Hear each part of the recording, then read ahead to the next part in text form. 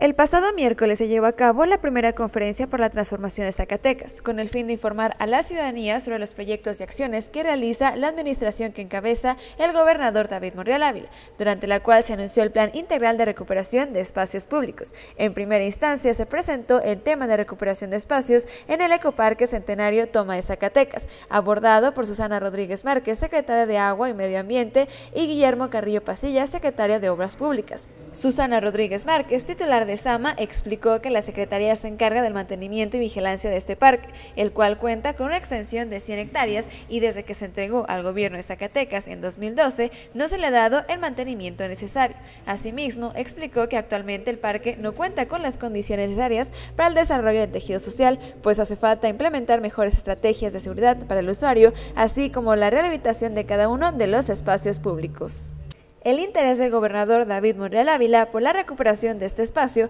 es apostarle a la reconstrucción del tejido social, volver a los valores, al origen, a que sea parte de encuentro de familias que tanto necesita Zacatecas. En el proyecto integral se tiene contemplada una inversión de 12 millones 600 mil pesos para la reparación de la cortina de la presa Infante, construcción y puesta en marcha de la tirolesa, rehabilitación del puente colgante, revisión del cerco perimetral. Además, existen cuatro casetas que no están habilitadas, entre otras áreas que se tendrán dentro de este proyecto para entregarle a la ciudadanía un espacio digno para la reconstrucción del tejido social. Pues en efecto, a la Secretaría del Agua y Medio Ambiente le corresponde... Eh, eh, la vigilancia, el mantenimiento, eh, la organización y la administración del Ecoparque Centenario. Ustedes saben que esta, este ecoparque es una extensión muy amplia, son 100 hectáreas que están situadas entre Guadalupe, Betagrande y Zacatecas. Pero este parque que si bien tuvo una historia desde hace muchos años, concretamente en el 2012 se entregó al gobierno de Zacatecas y desde entonces el mantenimiento ha sido mínimo. Estamos hablando que hace 10 años